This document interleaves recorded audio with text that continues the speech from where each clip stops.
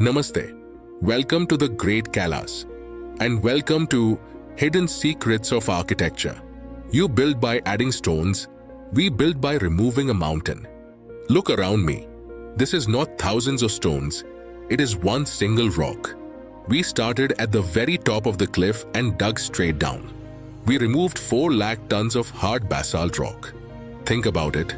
One mistake, one cracked pillar, and the entire temple is ruined forever. No erasing, no second chances.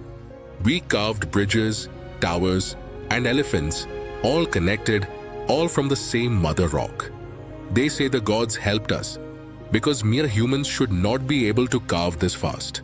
But this is just one minute of our labor. If you want to see the full engineering analysis of this impossible temple and find out where all that rock went, head over to our main channel, Hidden Secrets of Architecture, right now. I am waiting for you there.